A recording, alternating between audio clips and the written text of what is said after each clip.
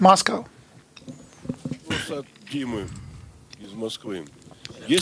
Uh, question from Dima from Moscow. If the group cannot come to a single opinion about a topic, does it mean something? Or it's a normal process of maturing and how to take a decision with different opinions?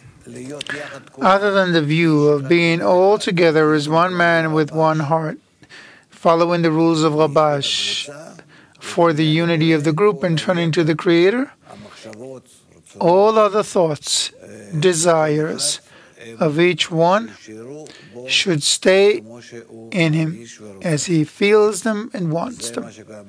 This is what Baal Sulam explains to us in the essay The Freedom. The Freedom. They changed the name of the essay, so I'm still mm, stuck with the old name.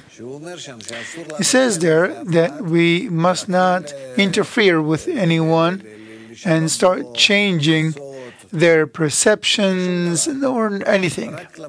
Only with respect to the Creator do we need to be united. And still, each one pictures the connection and turn into the Creator.